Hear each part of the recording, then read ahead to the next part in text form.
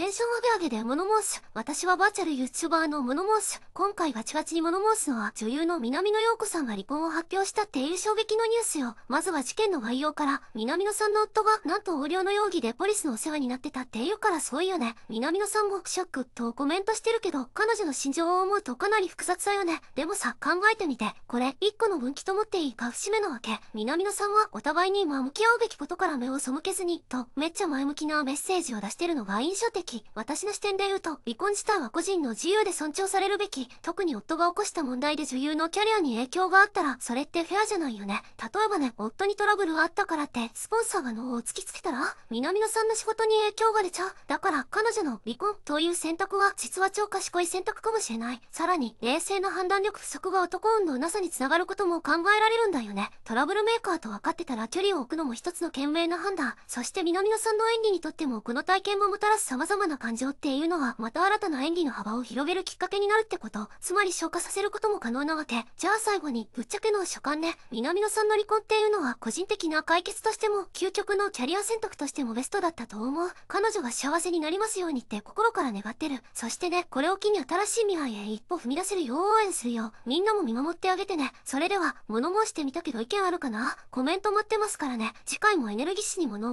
申す。じゃあね。